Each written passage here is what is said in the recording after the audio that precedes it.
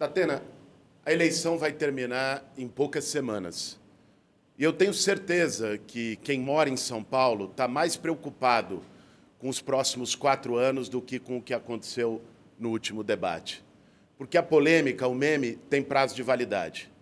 Infelizmente, o que a gente tem vivido em São Paulo, não. O que a gente tem visto é fila da saúde, uma situação muito precária que essa gestão não deu conta de resolver.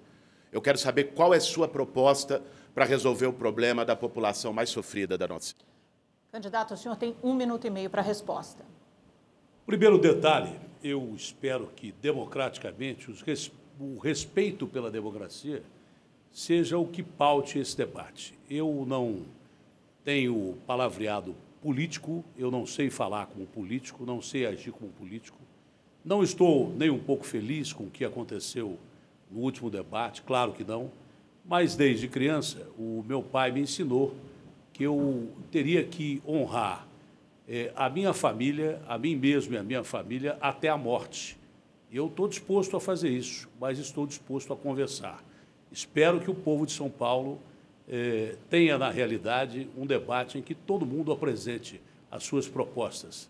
A minha é simples: segurança com reforço da guarda, é, saúde com o BS mais duas horas, educação com é, as creches mais duas horas e, com certeza, reforçar o serviço de inteligência da nossa gloriosa é, Polícia Civil, que é a, a, a polícia que nos dá é, condição, ao, junto com a, a, GCM, porque você combatendo o caminho da droga, você faz com que a droga não circule não só pela Cracolândia, mas também pela cidade. Isso vai diminuir muito o crime de rua e os bandidos estão matando cada vez mais.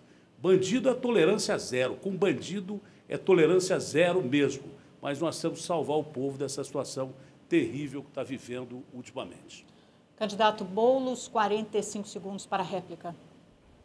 Gente, quando a eleição passar, ninguém vai mais lembrar das polêmicas, das gritarias que acontecem nos debates porque ela não diz nada sobre os problemas reais que o povo de São Paulo enfrenta.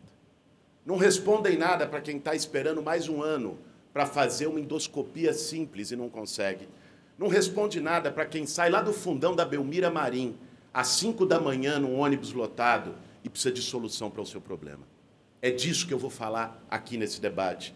É isso que eu tenho falado no nosso programa de TV, nas nossas redes e no nosso programa de governo. Eu me preparei para governar São Paulo e para responder os problemas reais da nossa cidade. Isso que importa. Olha, podem ter certeza que eu não tenho o hábito de falar politicamente, mas eu sou um cara verdadeiro e sincero. E serei assim com o povo de São Paulo se me der a oportunidade de ser prefeito.